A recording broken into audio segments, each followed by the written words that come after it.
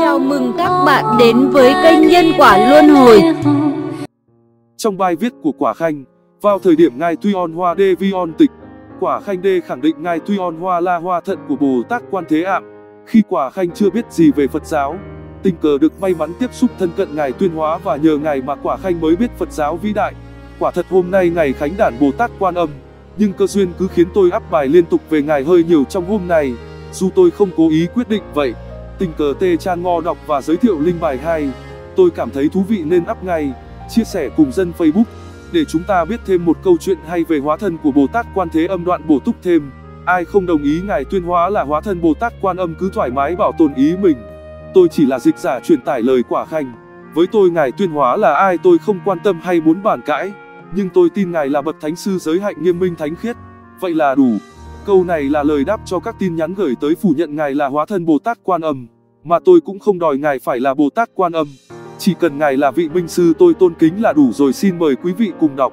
Liệng bỏ súng đi bài nói chuyện của quả duệ, Simon Lau, tại chánh điện chùa Vạn Phật, ngày mùng 8 và 9 tháng 5, năm 2008. Báo Vaira Bodisi, Kim Cang Bồ Đề Hải, số 458 và 459. Cong thưa Hòa Thượng, Thầy trụ trổ và các bạn thiện tri thức. Tợi đê đến Vạn Phật Điện nảy từ hơn 30 năm về trước. Rất nhiều người muốn nghe những câu chuyện về Hòa Thượng tuyên hóa, chứ không phải về tôi, về sự dạy dỗ và chuyển hóa chúng sanh của Ngài. Do đó tôi muốn chia sẻ một câu chuyện xảy ra trong quá khứ về việc tôi gặp Hòa Thượng như thế nào. Cách đây hơn 30 năm, vào năm 1978, tôi đã đến chùa Vạn Phật lần đầu tiên. Chúng tôi gồm có 8 người, đi đến đây với hai chiếc xe. Chúng tôi chỉ muốn đến để ngắm nhìn Vạn Phật Thánh Thành mà thôi. Tại sao chúng tôi đi Vạn Phật Thánh Thành? Đó là vì một vài tháng trước khi đến đây, tôi nằm mơ thấy một vị sư ngồi trong thế kiết già bay về hướng tôi. Trong giấc mơ tôi tự biết đây là thầy của mình và gọi ngài là sư phụ. Sau đó tôi cũng không bận tâm nhiều lắm về chuyện này, dù sao đây cũng chỉ là một giấc mơ. Về sau trong một tờ báo, tôi nhìn thấy ba chữ Kim Sơn tự, nó gây ra một cảm giác khá mạnh mẽ trong lòng tôi. Tôi tự đủ, mình phải tìm ra chỗ này mới được, nó thấy quen quen sao ấy. Tôi cứ tưởng là nó nằm gần trên khu mít rừng hay gần đường số 15, cho nên tôi bắt đầu tìm kiếm hy vọng sẽ tìm ra chùa Kim Sơn. Tuy nhiên chúng tôi đã lái xe cả mấy ngày trời mà vẫn không có kết quả. Kết cuộc thì chúng tôi cũng đã tìm ra và ngôi chùa Kim Sơn thật ra chỉ cách chỗ chúng tôi ở có hai con đường thôi. Kể từ đó tôi hay đến chùa để nghe ngóng tin tức nhưng tôi cũng không biết lý do vì sao. Vào thời gian đó, cổng chùa Vạn Phật vẫn chưa được xây. Chúng tôi phải đi qua cái cổng sắt gần văn phòng hành chánh. Ngày hôm đó nhằm ngày Pháp hội quán âm, chúng tôi đến hơi trễ. Các vị Pháp sư đều đang ở trên chánh điện và cổng sắt ngoài thì bị khóa. Bình thường với tánh khí của tôi, tôi có thể vào trong cho dù cửa có bị khóa nhưng chúng tôi đã không làm như vậy. Chúng tôi chỉ ở ngoài cổng chờ xem có ai đi vào hoặc đi ra thì chúng tôi mới vào. Nhìn từ bên ngoài chỗ này rất rộng lớn. Chúng tôi đợi khoảng một tiếng đồng hồ. Bỗng nhiên, có một vị thầy cưỡi xe đạp chạy ra. Sau này tôi mới biết đó là thầy Hàng Lai, một vị sư người Mỹ cao lớn. Ông ta nói, mấy ông muốn vào trong à? Thầy mở cổng cho chúng tôi vào mà không nói thêm lời nào nữa. Chúng tôi vào trong rồi đi vòng quanh. Sau đó thì đến tránh điện. Khi bước vào mọi người nhìn chúng tôi như là quái vật. Nhiều người có vẻ rất sợ chúng tôi. Có lẽ vì tướng mạo tụi tôi lúc đó. Thật ra tôi cũng không hiểu và cũng không hình dung được tại sao người ta lại sợ chúng tôi. Nhưng cũng không có ai gọi cảnh sát hay làm gì cả. Sau này chúng tôi mới biết là khi đang đợi ở bên ngoài thì sư phụ đang ngồi trên pháp tòa giảng kinh. Bỗng nhiên, sư phụ ra hiệu là có người nào đó muốn vào và bảo thầy Hằng Lai đi ra mở cổng. Như chúng ta biết chánh điện của vạn Phật không có cửa sổ. Tuy nhiên hòa thượng lại biết có người đang đợi bên ngoài cổng. Tám người chúng tôi ngồi ở phía sau cùng của chánh điện. Lúc đó chúng tôi không hiểu gì cả và cứ nghĩ là nó thú vị sao ấy. Thế rồi chúng tôi đã ngồi đó nhưng không phải nghiêm chỉnh như quý vị bây giờ. Thật ra chúng tôi ngồi rất lộn xộn, phong cách cầu thả. So với quý vị thì như một trời một vực vậy đó. Thuở ấy tụi tôi rất là bê bối. Trong khi hòa thượng đang giảng kinh trên pháp tòa, chúng tôi chỉ nhìn từ phía sau để xem chuyện gì sẽ xảy ra. Sau buổi thuyết pháp, hòa thượng từ chỗ ngồi trên pháp tòa bước xuống và đi về phía sau của chánh điện. Bình thường thì có một cái ghế đặt sẵn ở đó để hòa thượng ngồi nghỉ sau khi thuyết giảng. Thế rồi hòa thượng tuyên bố, có ai thích đến viếng thăm chỗ của tôi không? Tôi thật không quen biết hòa thượng và chỉ nghĩ, ồ, có nơi đi thăm viếng à? Tất nhiên chúng tôi phải đi xem rồi. Chúng tôi nối gót đi theo. Hòa thượng cư ngụ ở khu phía sau. Cho dù lúc ấy có ý tương hiện lên trong tâm là tôi không biết ngài, ngài là người xa lạ với tôi. Tại sao lại đi theo ông ta nhưng tôi không cách nào khác là phải đi theo hòa thượng khi ngài bảo đi. Lúc đó tôi có dịp nhìn hòa thượng rõ hơn một chút. Trong một khoảnh khắc tôi bỡ ngỡ nhận ra hay, vị thầy này sao thấy quen quen. Khi tới nơi, một nữ cư sĩ tên Helen U mà chắc phần lớn quý vị đây không biết đâu, đón chào chúng tôi và tìm chỗ ngồi cho chúng tôi. Hòa thượng lúc đó đang nói chuyện với các pháp sư và những vị cư sĩ khác bên góc kia của căn phòng. Sau năm 20 phút, bà Helen U đến và hỏi, mấy ông muốn quy y không? Quy y, quy y là cái gì? Bà ấy nói, quy y là mình lại vị này làm sư phụ.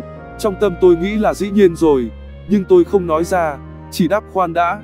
Tôi cần hỏi mấy người kia trước. Tôi hỏi bảy người kia, tụi bay muốn quy y không? Họ hỏi quy y là cái gì? Thông thường khi họ hỏi chuyện gì tôi đều có câu trả lời. Chưa bao giờ có một trường hợp mà tôi không biết phải trả lời sao cả. Nhưng lần này tôi thật mù tịch không biết quy y là gì. Thở dài, chúng tôi thời đó thật là mê muội không biết gì cả. Bảy người họ nói, nếu đại ca quy y thì chúng tôi cùng quy y chung với anh. Trong lòng tôi đã định quy y, được lắm, mình sẽ quy y và bái thầy làm sư phụ. Tôi bảo bà Helen U, vâng, chúng tôi sẽ thọ quy y, đó là cách chúng tôi trả lời. Bà Helen U đi báo với hòa thượng rồi trở về nói hòa thượng đồng ý. Vậy chúng tôi làm gì? Tôi hỏi, bà ta bảo, tất cả các anh tám người lại đây, quỳ xuống. Được, làm thì làm, chúng tôi đều quỳ cả. Trước nay chúng tôi chưa hề quỳ trước mặt ai, cho nên cũng không biết phải làm sao. Cho dù chúng tôi có quỳ làm lễ với thần linh theo phong tục hay truyền thống thì cũng làm qua loa cho xong. Nhưng đây là lần đầu tiên chúng tôi quỳ gối một cách nghiêm túc. Cũng không biết tại sao. Bảy người kia thấy tôi quỳ. Tôi nói, quỳ xuống. Mọi người đều quỳ xuống. Quỳ hả? Họ hỏi. Một số cảm thấy bị ép buộc nhưng nhìn thấy tôi quỳ họ cũng làm theo. Rồi thì chúng tôi quỳ ở đó và buổi lễ quy y bắt đầu. Chúng tôi lập theo lời hòa thượng con nguyện quy y Phật, con nguyện quy y Pháp, con nguyện quy y Tăng về. Về sau buổi lễ sư phụ nói chuyện với chúng tôi. Lời đầu tiên là ngài hỏi, ai trong các ông có đem súng theo? Có ai đem súng theo không? Khi sư phụ hỏi, tôi thật sự không biết trả lời sao. Trong lòng tôi đang nghĩ, mình có nên nói cho hòa thượng biết hay không? Lý do vì sáng nay khi ra đi tôi đã dặn mọi người là không đem súng theo. Tuy nhiên có một tên đàn em cứng đầu đã không làm theo lời tôi bảo. Hắn lén nhét theo một khẩu vào người mà tôi không biết. Tôi thưa ra không có súng. Hòa thượng đáp không có. Ngài hỏi vặn thêm không có thật sao? Tôi đáp con thật không có súng. Lúc đó tôi cũng thắc mắc tại sao ngài hỏi tôi mấy chuyện ấy vì thật sự tôi không đem súng. Sau khi bước ra ngoài tôi mới khám phá là có người đem súng và đó là lý do khiến hòa thượng đã tra hỏi tôi như thế. Tôi hỏi bảy người bọn họ, có ai đem súng không? Dĩ nhiên tên có tội đó không dám đứng gần tôi mà đứng xa xa. Tôi nhìn thấy hắn và quả thật y có một khẩu súng. Tôi thầm nghĩ ồ, làm sao mà cái ông tăng già này biết về chuyện này được. Thật là kỳ quái. Đó là ấn tượng đầu tiên của tôi về sư phụ. Sau khi hỏi về những cây súng, Hòa thượng tiếp tục nói, sau khi quy y với tôi, các ông không nên dính líu đến các tội phạm như là giết người, phóng hỏa hay các hành vi bất hợp pháp khác. Chúng tôi rất ngạc nhiên khi nghe các lời dạy trên ô, tại sao sư phụ nói với chúng ta về những việc này, lạ thật. Tôi cũng vậy, cũng không hiểu tại sao hòa thượng nói những lời này. Ngài biết những chuyện mà tôi không biết như chuyện có người trong bọn tôi có súng. Tôi thầm nghĩ hình như hòa thượng có thể nhìn thấu chúng tôi. Phải lâu lắm về sau tôi mới hiểu được lý do. Lúc đó bọn tôi đều hứa xuông và đó là câu chuyện quy y của chúng tôi. Tôi không hề kể cho ai nghe là chúng tôi đến từ đâu. Quy y xong chúng tôi trở về nhà. Sư phụ khi đó mới hỏi quả tương. Helen U bà sao mà cả gan dám nói chuyện với bọn họ và còn bảo họ quy y nua. Để tôi kể một câu chuyện trước đã. Nếu tôi không nói về chuyện này người ta sẽ không hiểu tại sao hòa thượng lại hỏi chúng tôi về những cây súng. Lúc còn trẻ, tôi quen biết với nhiều bạn bè trong giới giang hồ. Khi đó đang chia thành nhiều băng đảng ở phố Tàu. Họ thật là khác thường nhưng tôi không phải là đại ca của họ, cho nên quý vị không có gì phải sợ cả.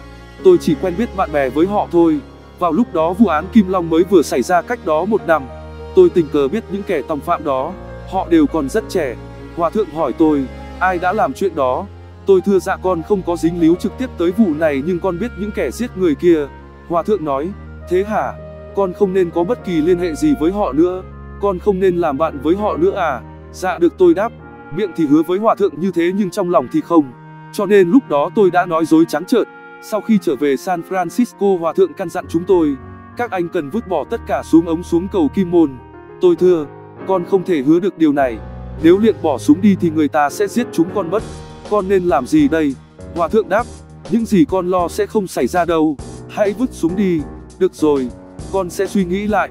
tôi chỉ trả lời cho qua và không thật hứa hẹn gì với sư phụ cả chúng tôi quy y vào năm 1978 sau vụ giết người rồng vàng vào năm 1976 và 1977 khu phố tàu thật rối loạn như phố mà. Nhiều băng đảng thanh toán lẫn nhau. Tôi vẫn không quên lời chỉ dạy lần thứ hai của a sư phụ. Có nhiều sự hỗn loạn ở phố tàu. Các anh không nên gây sự với những người đó nữa. Các anh nên rời khỏi chỗ này. Đừng vào phố tàu để gây rối nữa. Tôi nói, sư phụ, con không phải là người duy nhất gây chuyện đâu. Phố tàu rất rộng lớn. Làm sao một mình con có thể gây náo loạn như vậy được? Còn có nhiều băng đảng khác nữa. Không liên can gì đến con. Nếu con không xuất hiện, người khác sẽ xuất hiện thôi. Sư phụ bèn nói tôi muốn các anh rời khỏi chỗ đó. Nếu anh đi rồi thì phố tàu sẽ yên tĩnh trở lại. Tôi bảo đảm như vậy. Tôi đáp phải rời khỏi à. Chúng con không có bao nhiêu người cả. Thôi được, chúng con sẽ đi nhưng con phải tham khảo ý kiến với mấy người bạn trước đã. Tôi đã không hứa hẹn gì ngay với hòa thượng về hai đề nghị trên. Tôi chỉ nói qua loa cho xong chuyện thôi. Sau đó, tôi bàn thảo với nhóm của tôi ai đồng ý vứt súng? Vứt súng à? Nếu người ta bắn chúng ta thì sao? Tất cả họ đều hỏi tôi như vậy. Tôi quay lại chùa kim sơn và lúc đó hòa thượng đi vắng. Chỉ có thầy hàng quán và hàng thuận. Tôi hỏi, nếu chúng tôi quẳng súng, chúng tôi phải làm gì khi người ta bắn chúng tôi? Chúng tôi sẽ không có súng để tự vệ. Hai ngày sau, chúng tôi nhận được câu trả lời. Câu trả lời là gì? Một vị thầy đã chuyển lời đến chúng tôi. Hòa thượng nói, nếu người ta bắn các anh, thì các anh chỉ cần niệm danh hiệu quán thế âm bồ tát họ sẽ không thể đụng đến các anh được. Nếu tôi chạm mặt với họ thì sao? Hãy niệm quán thế âm bồ tát thì người ta sẽ không nhìn thấy anh. Điều này khiến tôi chú ý hẳn lên. Hay lắm, mình có thể học chút pháp thuật để tàng hình. Và rồi tôi sẽ không cần súng nữa. Thậm chí chúng tôi sẽ có nhiều oai phong hơn khi xuất hiện ở phố tàu. Vị thầy bảo, điều này chỉ có hiệu lực sau khi các anh bỏ hết súng ống. Thôi được, thế thì chúng tôi sẽ vứt bỏ hết. Tôi vẫn còn đang suy nghĩ liệu có nên ném súng hay không. Sau khi bàn bạc chúng tôi quyết định ném súng xuống cầu kim môn. Tôi không biết giờ mình có thể tìm lại chúng được hay không nhưng đó chỉ là chuyện nhỏ thôi. Quả thật những gì chúng tôi lo lắng rồi cũng đến. Một người bạn của tôi đã bị bắn khi đang lái xe nhưng bản thân tôi thì không có vướng vào vụ nổ súng nào cả. Tuy nhiên, anh ấy không bị bắn trúng. Tôi tin oai lực của hòa thượng đã chế ngự chúng tôi. Từ đó trở đi, khu phố tàu đã thật sự trở lại những ngày tháng yên bình. Lý do khi chúng tôi ra đi, ai ai cũng trở về với cuộc sống xưa cũ. Lúc đó tôi đã không biết nguy hiểm là gì, nhưng giờ đây nghĩ lại, tôi thấy mình đã lâm vào tình cảnh thật nguy hiểm. Hòa thượng đã cứu mạng tất cả chúng tôi. Vào thời gian đó, thỉnh thoảng tôi cũng đi loanh quanh đến chùa kim sơn, hy vọng học thêm về cái pháp thuật tàng hình đó. Mục đích tụng kinh của tôi lúc ấy là để đạt được khả năng ẩn biến, là điều đã thu hút tôi đến chùa kim sơn mà khi ấy vẫn còn nằm trên đường 15 trong khi hòa thượng hướng dẫn phái đoàn phật tử đến mã lai và singapore vào năm 1978 tất cả chúng tôi trong cùng một đêm đều mơ thấy hòa thượng đến xoa đỉnh đầu của mình. Chúng tôi thường đi ngủ lúc 3 giờ trong khi các vị tăng xuất gia thức dậy lúc 3 giờ 30 sáng. Ngay khi chúng tôi vừa chợp mắt, chúng tôi nằm mơ thấy hòa thượng. Không biết vì sao nhưng trong giấc mơ tôi có cảm giác quỳ lại hòa thượng, và ngài đưa tay ra sờ đỉnh đầu tôi. Ngày hôm sau, tôi kể cho mấy người kia nghe về giấc mơ của mình. Họ bảo họ cũng đều có cùng giấc mộng như thế. Họ nói, sư phụ cũng đến bên tôi. Ngài xoa đỉnh đầu tôi chúng tôi đến chùa kim sơn và kể lại với các vị sư những gì đã xảy ra. Khi đó chúng tôi thật sự không biết ý nghĩa của việc xoa đỉnh đầu. Sau này thì chúng tôi hiểu nó có ý nghĩa như thế nào. Hòa thượng rất từ bi và biết chúng tôi không thể sống cuộc sống mới như thế này. Vì thế, ngài đến phù hộ và giúp chúng tôi chế ngự những thói hư tật xấu để chúng tôi không phát ngông cuồng nữa. Sau khi quy y, chúng tôi muốn bắt đầu một cuộc sống mới. Tuy nhiên nó không dễ dàng vì chúng tôi không có nhiều khả năng để hoàn toàn xoay chuyển cuộc sống chúng tôi thậm chí phải thay đổi cách sống và những thói quen hàng ngày như tập đi ngủ sớm và dậy sớm đi làm. Một số thì vào trường đi học lại, còn tôi thì bắt đầu tìm việc làm. Chúng tôi cũng thường hay đến chùa kim sơn và bắt đầu lắng nghe sư phụ giảng kinh và các băng thuyết pháp. Một số trong chúng tôi đã tìm được việc và đi làm, một số quay trở lại trường học. Chúng tôi đã sống như thế trong một thời gian. Trước đó, chúng tôi đã liên lạc với nhiều người và muốn mua một ít đạn dược và vũ khí. Tuy nhiên giá cả đã không được thỏa thuận và cũng không có mối lãi tốt bỗng nhiên trong thời gian đầu của cuộc sống mới khá nhiều kẻ buôn vũ khí liên lạc với chúng tôi và dành cho chúng tôi giá rất hời khiến chúng tôi gần như bị mềm lòng chắc chắn nếu là trước đây thì chúng tôi đã mua các loại súng đạn ấy nhưng rồi tất cả chúng tôi đều quyết định bởi vì chúng ta đã từ bỏ súng ống bây giờ mua chúng lại để làm gì rốt cuộc chúng tôi đã không mua bán vũ khí gì nữa một ví dụ khác nữa là có sòng bài đã đề nghị chúng tôi vào làm để chúng tôi có thể kiếm chút tiền vài người khác cũng liên lạc nhưng chúng tôi không nhận lời vì chúng tôi đã quyết tâm làm lại cuộc đời mới có chuyện này cũng dáng được nhắc đến là hai năm sau khi quy y chúng tôi đã tham gia vào công tác thiện nguyện Tôi nghe nói chùa Vạn Phật sẽ xây một cổng lớn và đã tự nghĩ tôi cũng có thể tham gia vào công việc tình nguyện này. Tuy nhiên, tôi không biết làm những việc như thế. Tôi thưa với sư phụ về điều này. Ngài bảo, một khi đến đó rồi, con sẽ biết làm thôi. Vì thế, chúng tôi đến chùa Vạn Phật tham gia công việc thiện nguyện. Giờ để tôi kể cho quý vị nghe. Vào lúc đó tôi còn rất trẻ và thậm chí không biết cưa một mảnh gỗ nữa. Khi đó, ông Bob Onson, quả pháp chịu trách nhiệm dự án này. Ông ấy bảo tôi đi đến cái cổng và làm một khung gỗ trước. Tôi đến đó nhìn vào bản sơ đồ trong khi ông ấy giải thích phải làm thế nào. Nhưng tôi hoàn toàn ngớ ngẩn vì không biết làm sao để cưa mảnh gỗ cả. Khi tôi bắt đầu, tôi phải cưa nó đến 4 hay 5 lần và dù vậy cũng chưa được thành công. Tôi cũng không biết mình đang làm cái gì đây. Quả pháp rất kiên nhẫn chỉ dạy tôi. Vì thế tôi đã tiếp tục. Sau một vài ngày, tôi bắt đầu nắm bắt được khái niệm. Tuy đã khá hơn ngày đầu tiên vì tôi không phải cưa 3 hay 4 lần khi cần mảnh gỗ nào đó. Khi người thợ mộc cưa, họ chỉ cần một nhắc và thế là xong. Còn tôi thì phải cưa đến 4 hay 5 lần cho đến khi gỗ không còn là gỗ nùa. Dần ra rồi khung gỗ cho vòng cung giữa cũng được làm xong. Vào thời gian đó thì thường một tuần một lần sư phụ từ San Francisco đến chùa Vạn Phật và ai nấy cũng muốn gặp ngài cả. Tôi cứ suy nghĩ suốt ngày, khi nào sư phụ sẽ đến. Khi chúng tôi biết sư phụ đến thì tất cả những khó nhọc đều tan biến và công việc sẽ trở nên rất nhẹ nhàng và trôi chảy. Ồ, sư phụ đến kia, chúng tôi sẽ có thêm sức lực và làm việc chăm chỉ hơn. Và khung gỗ đầu tiên cũng đã được hoàn thành như thế. Tôi đang chậm chậm lo làm cái khung và suy nghĩ thêm cách làm. Trước khi tôi nắm bắt được thì khung cửa đã được làm xong rồi. Khi đỡ, thầy Hằng lai bước lốn mai nh ớ và chu chọc tợi. Bây giờ anh là thợ mộc rồi đỡ. Tợi nỡi, tợi chậm giống thợ mộc lắm ớ. Tợi chỉ lầm rối tung lốn hết thợi. Tôi cảm thấy xấu hổ vì đã không biết mình đang làm gì đây nhưng rồi ít nhiều tôi cũng đã làm được gì đó. Cổng lớn mà quý vị thấy bây giờ đã được hoàn tất bằng sự học hỏi từ từ như thế. May mắn thay, quả pháp đã kiên nhẫn chỉ dẫn chúng tôi làm. Quý vị nên biết là trước đây chúng tôi chưa bao giờ làm qua và đó là lần đầu tiên. Chúng tôi cầm lấy cây cưa và cưa đại thôi. Dần dần chúng tôi học hỏi và làm thành cổng lớn như thế đó. Sau đó, chúng tôi trở lại San Francisco và làm việc bên ngoài một thời gian. Trên thực tế chúng tôi cũng không đến nỗi xấu xa lắm đâu, chỉ là những kẻ phá phách, ham vui và thích dẫn chơi với bạn bè thôi. Thời ấy tôi chẳng biết tuân theo luật lệ gì cả. Nghĩ lại, có khoảng thời gian chúng tôi đã sa ngã. May mắn thay, Hòa Thượng đã cứu vớt chúng tôi. Đó là lý do mà trong 30 năm qua tôi chưa hề rời khỏi vạn Phật Thánh Thành. Chô, Facebook bất like.